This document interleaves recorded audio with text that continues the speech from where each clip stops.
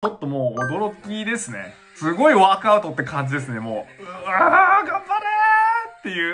う。うわー、ちょっと見たことないぐらい激しいかも。高評価ボタンとチャンネル登録もぜひぜひよろしくお願いします。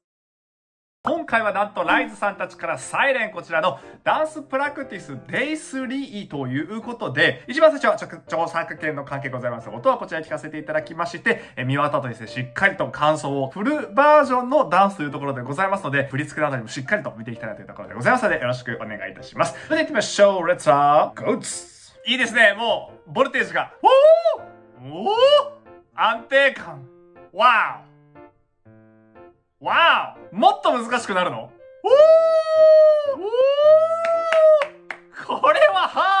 ード、やばいこれはやばい一番きついメニューを見ている感じがすごいする。うわ。もうなんか見てるだけで、こっちもなんか力入ってきちゃうというか、最後の後半のなんかもう全速力ダッシュの感じですよね。曲がだからやっぱめちゃくちゃ攻めてるというか、なんならこう2番に入ってからの方がもっと激しくなるというか、1番でも十分の激しさだったと思うんですけど、まさかのそこからさらに上げるっていう、実際に上げてるんですよね。ニュアンスをね。っていうところも踏まえてじゃあちょっと見ていきましょうか。サビからっていうところですかね。一番サビからっていうか。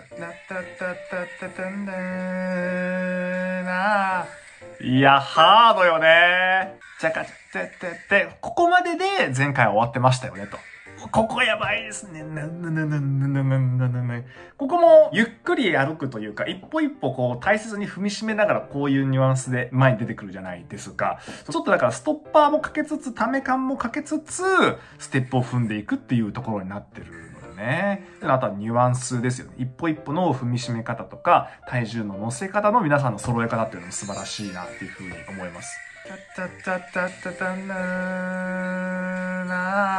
すごいわ。上にも下にも横にもっていうね。こういうステップ1個取っても、翔太郎くんのこの足の広さなんですよね。本当にいつ見てもやっぱり足の幅、スタンスが一番広いんじゃないかなって思いますよね。本当にね。これフロアよで、上がるかと思いきや、一回そこでターンして、フロアに手をついた状態でダンスをもうちょっと続けていくっていう、そこで起き上がるんだみたいな、こういうフロアの使い方はちょっと新しいというか斬新というか、フロアに手をついた状態で足元をこうやって使っていくダンスっていうのは結構腰が落ちがちなんですけれども、このあたり見ていただくと、皆さんこのスレスレで戦ってるのわかりますかね？で、ここでまた上げてからのもう一回ここで腰を上げてって、グイッという風に、もう、お尻つきたくなる。お尻つきたくなるんだけども、お尻はつかないで、しっかりと腰を上げながら踊っていくっていうところがポイントになってるんですね。で、こういうのを、とこう差し込みに行くっていう、でそのちょっと入っただけじゃなくて入ったところで少し踊ってから上がっていくっていうところがめちゃくちゃ攻めてるなっていう風に感じます。曲自体テンポ感もすごく速いですし、サビのダンスとか見ててもここの動きとかもそうですけど、もう全身運動じゃないですか。で、その前の伸びて下がって伸びて下がってってあの地面を触れていくところ、この感じ？上がって下がってっていう、もう床に手をついてまた上がってっていう、すごいなんかもうバービージャンプのような、あの、縦横無尽なダンスっていうところがまた見えてくるじゃないですか。っていうところからさらにですよ。これはなかなかですよね。すぐにまただから状態を起こして踊っていかなきゃいけないっていうところですよね。ここでね、まだもう一回、もうワンセットサビが来るわけでございますので、